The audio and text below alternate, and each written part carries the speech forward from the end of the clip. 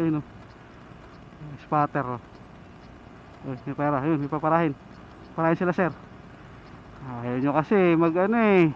Ah, madali kasi kayo lagi eh. So full force sila doon ngayon sa may ano SM Mega Mall. So malamang wala sa, so malamang sa malamang wala sa Cubao to. Wala yan sa Cubao.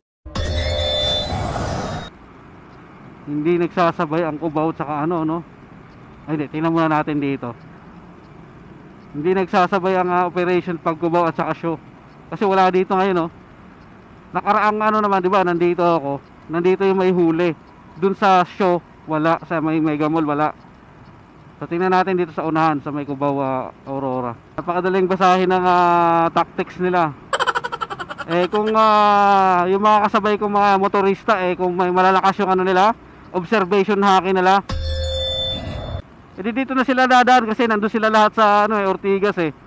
Diba kung marunong sila makiramdam. Ay nandito ngayon sila sa may Orti ano SM Mega Mall. So malamang sa Cubao wala 'yon, diba? Oh, wala dito, wala. Walang huli dito sa part na 'to. Sa Cubao. So nadaanan ko meron sa show. Halos full force na naman sila doon. Pero dito wala. So daling basahin, di ba? Parang hindi nagsasabay eh.